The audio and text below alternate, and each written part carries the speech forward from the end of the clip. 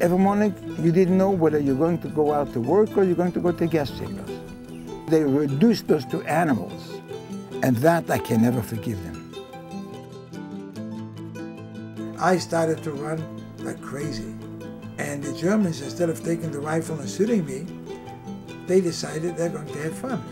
And they gave an order over these two German shepherds to chase me. In my head, I get a picture of what took place when I was there, because that brings me back to those days. I got to tell the world what took place because as we go on, there's less and less who can say I was there.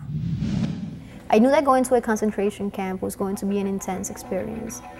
I did not think that it was going to be my first time, though, experiencing anti-Semitism. Well, yeah. Poland's very good. I think people were very, very nice. Well, you guys would know, right? You look Jewish. And, That's right, yeah. And if anyone, anyone would have anti-Semitism, it would be... Yeah. Oh, well, there you go. We just experienced anti-Semitism.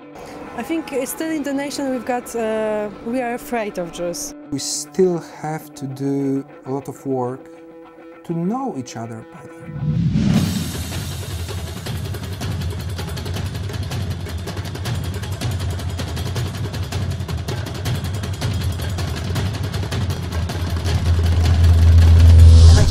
Really to holler at him, not to holler at me. Schießen Sie, go ahead, pull the trigger, pull it.